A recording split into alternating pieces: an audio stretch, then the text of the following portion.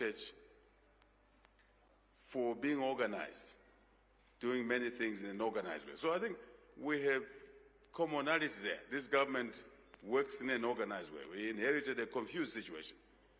But we worked very hard in two, three years, three days today to help organize this country. Debt restructuring, mission impossible, done. Restoring the mines, very difficult, done. Restoring the rule of law, by and large, done. But old habits die hard. We still have remnants of people who want to behave the way they behaved yesteryear. We work together to clamp it down. Even when we change the laws, for example, criminals don't change quickly.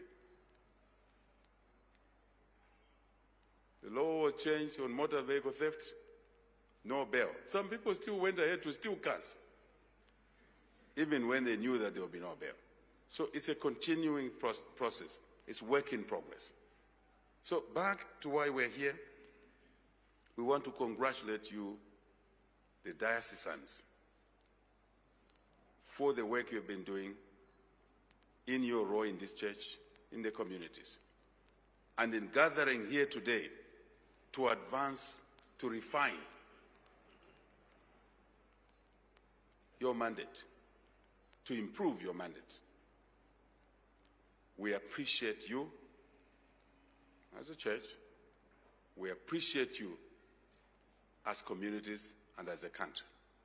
Because what you do benefits all of us. You serve the community. Your theme is so appropriate, extremely appropriate.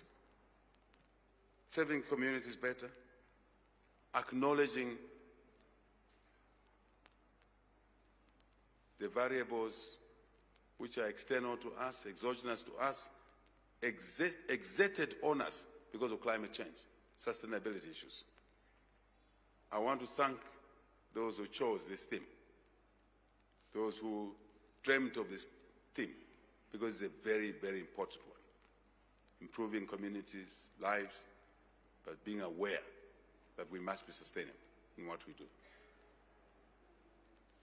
We must also indicate to you that the role of church, church in society is important, has always been important in many respects, in many ways. Evangelizing our people, teaching our people values, how to be good people, good citizens, how you as diocesans need to work with, live with each other supporting each other. No two diocesans are exactly the same where you sit here. None. God endowed you differently. Now imagine 20 million people. Me, I'm married to 20 million plus husbands. And I know they're all different, they demand different things. And I and my cabinet, our government, can't meet those needs on our own. But working with the church, Catholics, diocesans like yourselves, Jesuits, others, and other churches, the body of Christ is one. We will achieve a lot to better the lives of our people. The very communities that you are talking about. But the community starts with you as diocesans. You are a community. And then extends to others. We value this role. We value the service to community, society, our society. And Bishop Mulenga, I have said this to your colleagues when you came to see us at State House, Zambia Conference of Catholic Bishops. I emphasize the importance of partnership. I repeat that message. We're partners. We're not competitors. We're complementary. We serve the same population, as I said. After all, this president's cabinet, majority of them are Catholics. This man, Minister of Home Affairs, this man, Minister of Technology, another man who is not here, Minister of Defense, they are all ex-Mukasa seminary. These. So we call them priests in our cabinet. If the bishops were not there, I would have said we call them bishops. But since the bishops are there, we call them priests. Secretary to the Cabinet Kangwa is Catholic. Deputy Secretary to the Cabinet Economics Sakalenga is a Catholic. Deputy Secretary to the Cabinet Administration Oliver Kalab is a Catholic. Now, how can there be a message out there that this UPND government is against the Catholic Church? That cannot be far from the truth. That's far from the truth. I, I repeat and put it correctly. That's far from the truth. So this government, by the way, all these I've announced, and many other cabinet ministers are appointed by this president. You think he was not aware that they were Catholics when he was appointing them? I was aware. But we are one team. One country, one team. So the issue of this government being against the Catholic Church is a fallacy.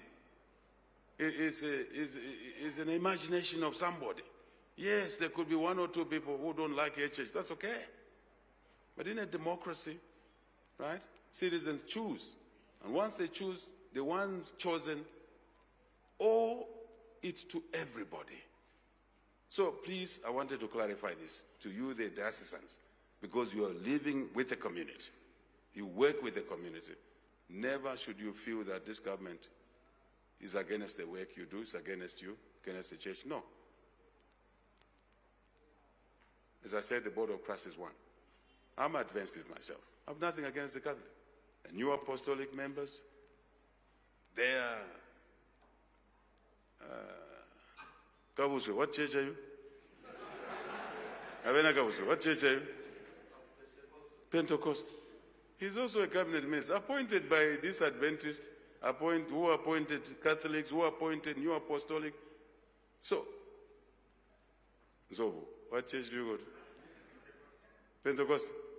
You see, we're one. Why am I emphasizing this? Because I do read a lot. I check social media. I hear what people say. I'm here. You're hearing from the horse that your work, what you do, what the church does, this church, all our churches, is cherished. We have a drought this year.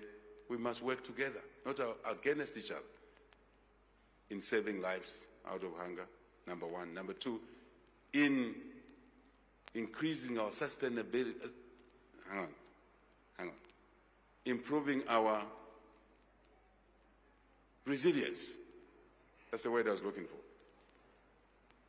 Energy, hydro is challenging us. We need to now look at solar and other sources of energy. It's an opportunity God has given us. That's how my mind works. In a crisis, flip the coin, you see the opportunities. Let's bring more solar. And I'm, I'm happy to say here in Central Province, we're putting 100 megawatts of solar in Chibombo. Here.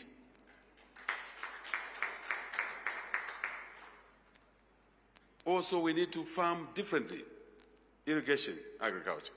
And I want to encourage the church, Bishop Mulenga, Bishop Kasonde, we must preach that the church members must go into production, especially food production. We must say it without blinking. Facilities are there. Yes, FISP may not be access to you, but the agricultural credit is there. Members of the Catholic Church who work for government, we have a facility for them, agricultural credit. When I took office, the facility was being given at 18% interest we put the interest down to 9%. So we want the members of this church to produce food, to do something. The facilities are there. We also have a private credit facility. One day I called all the banks into State House. I said, you have to make money available for agriculture, irrigation, agriculture. I said, okay, church will do it. And I come from there. Most of you don't know, I used to be chairman of Barclays Bank at a young age. ABSA now. So we use those networks to benefit the people. So they agreed to put money under agricultural credit scheme to fund different things, mechanization, irrigation, uh, genetics, seed, fertilizer, all of that. And they've agreed to pull the interest down from 25, 26% to 12%. If it weren't for the drought, we were going to harvest the largest crop of maize in 2024.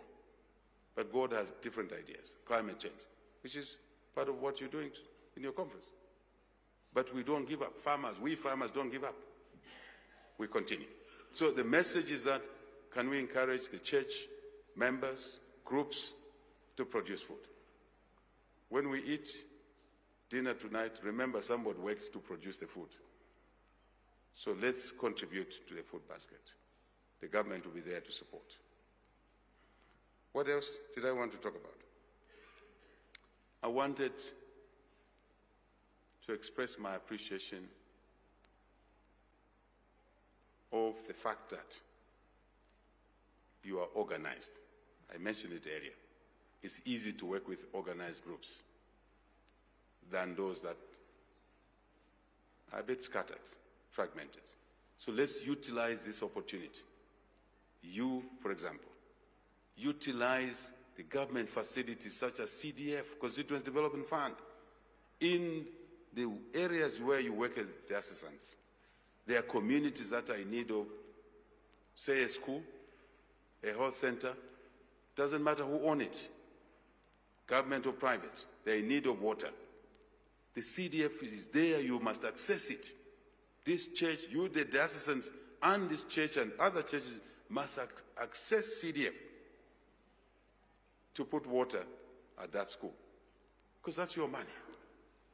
There is no money which is blue for those schools which are government, and, and, and yellow for the schools or health centers that are run by the church, or the communities that are green or red. We've changed the paradigm. These resources are for the community. So even you in your work, budget for accessing these facilities. You do the work that you can, you raise funding, the gap CDF can fill. I've just given an example of water, a bore, tank stand, tank, solar panel, if there's no electricity. And I encourage solar anyway, even where there's electricity. And the community will get the water. I make that call to, to you, the diocesanes and the church. This is a partnership. This is the meaning of the partnership. There are many other facilities free education. You, the diocesanes, are strong influencers in the communities. This president is standing here as head of state for one reason only, because I went to school on a government bursary. Otherwise, I would have been in Bweengwa or Namwala today with eight wives and looking after cattle. I'm not joking. The only reason I'm here and you elected me as head of state because I went to school under Kaunda's government bursary. And that's why we brought back free education, scholarship schemes at the constituency level for kids going to secondary school. You are diocesanes, you are priests, the bishops, you still have relatives. Let's encourage them to go to school through your influence that you carry as diocesanes in addition to the work you're doing already. Because the free education is the education is the greatest investment, equalizer, and indeed inheritance. So I want to use this opportunity to deliver that message to yourselves that include that ask I'm making to influence the community to send their children to school. Skills training. That's why we have also increased bursaries, loans, meal allowances.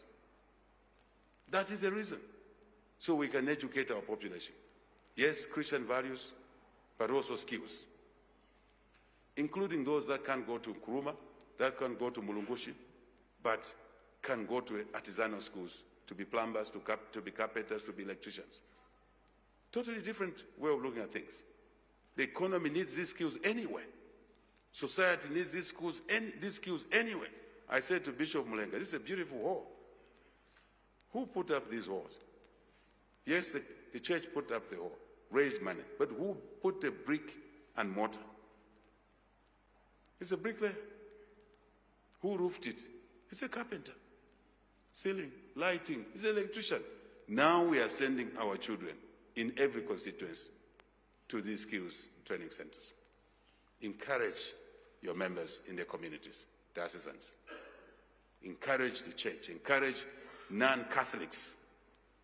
A church leader is always a church leader, not just in the Catholic Church, but in the community. That's my message. I could have said more because I think it's a rare opportunity for me to meet people like yourselves. But time is challenging us. I hope there will be another opportunity to meet. If not through me, if not me, but my ministers, my MPs, my DCs, and others. We make mistakes. We are your product. We come from the families that we evangelize. When we make mistakes, correct us because it's the right thing to do. But don't correct us by shouting at us in the newspapers and in social media. Interact with the nearest public sector worker close to you. Pass the message. Today, I met the bishops, two bishops, in fact, Bishop Mulenga in the presence of Bishop Kasonde. He gave me a checklist of 10 points, taking them away. I met your leaders. They gave me a list of points. Two pages they gave me. Very concise, very organized, clever. We'll look at those. I think that's how civilized communities work. Yes, yes, I'm aware. I'm aware. I'm aware. I'm aware. I'm aware. Thank you very much. So we'll take those lists now. We'll work on them. Some items are for the Minister of Technology. Others are for the Minister of Home Affairs, like the cadres who misbehaved here in Kabwe, right in these grounds, and in Pika. We do not support thuggery. What used to happen in the previous regime at Intercity, blood every day, bus stop, at Kulima Tower, no. Here in Kabwe, I could not enter Kabwe. The late, may he so rest in peace, Tutwa Ngulube used to make sure that if I'm passing through here, by that rail crossing, there are stones there. Every time I came to Kabwe, you don't see that anymore. The situation has changed. It's much better. But we still have work to do. Old habits die hard, isn't it? Some of the cadres who were in PF throwing stones to us, they've fused into UPND now. And they've continued. Some are UPND, but we will clamp them down. We need law and order. Let's work together in fighting corruption. Corruption is a thief. It steals desks from kids. It steals water from communities and medicines from hospitals.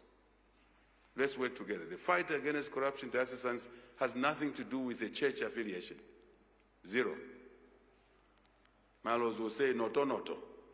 Noto noto. It has nothing to do with ethnicity, as some people like to claim. It has nothing to do with political affiliation. Zero. Corruption of the past, present, and the future. That's our enemy. So let's not, let's not divide ourselves. Let's not encourage our youth to do what the youth in Kenya have done. I see what people post. And by the way, those are crimes people commit. You can't hide behind a phone and Facebook or other social media to commit crimes. And I, I want to thank the British Prime Minister for clamping down on crim criminality on social media. Because criminality is criminality. Let's not encourage kids to go in the streets to go and kill somebody in the process to ban this nice war. Bishop Mulenga. If we allow our kids to go in the streets, the road is very near here. They will veer in here and burn this new war. What will we have benefited from? Zero. Let's encourage our kids to get the jobs we are offering in education. Over 30,000 teachers in three years, three days. The largest ever medical staff. The largest ever. We're employing Zambians from across the country in the army, in the national service, in the police, indeed, correctional services, and other public sector institutions. But more important, our focus is to create private sector jobs. Mulungushi, the revival of Mulungushi. Mulungushi textiles I'm proud to say Kabwe will have a new lease of life. Mulungushi Textiles is back. This is not a joke. The eight trucks you saw yesterday are eight out of 400 trucks bringing equipment there. There will be a new factory, latest technology. Then we're putting $100 million as outgrower into the community around farmers growing cotton. Just imagine, multiply 100 million by 25 kwacha, you're talking about how much? 2.5 billion dollars. 2.6 billion. You and I are quick at arithmetic. 2.6 billion kwacha. Yeah, we love numbers. We love numbers. Because numbers don't lie. Social media, you can post a sentence which is full of lies. And some people will believe you. You post numbers, those who know numbers say, ah, this, this number is wrong. Simple. So, this is what we're doing. This is our commitment, assistance. I want to end because of time, just to say to you, you have our support. This is your government. It's not a government on the moon. This is your government. We, you have our support in the work you do, given your theme today, wonderful theme. The church has its support. Other churches have our support. Board of Christ is one. We're not segregative ourselves. Christian is a Christian. You marry a pagan husband, convert him, as I said earlier on. Pagan wife, convert him. You have a difficult diocesan, sit him down and show them the good ways. Even us, you see waywardness in us, sit us down. We are your people, we are your products. Let me say, we wish you well in your conference. I wish I could stay longer and attend some of your sessions, at least those which are not confidential. I want to ask you, as part of your outcomes of your conference, checklist a couple of things, if there are any other which your leaders didn't give us already, which have relevance to government, or indeed others who, who we can network with or influence, so that we can now draw an action list out of your beautiful conference so we can better someone's life in our society, in the country. We wish you really, really fruitful deliberations. May God bless you all. May God bless our lovely country, Zambia. Ndalumba. Natotela. Thank you very much, Bishop Mulenga, Bishop Kasonde, my friends, the assistants here. We are your servants. Make use of us. Send us on errands. What we can, we'll do. What we can't, we'll ask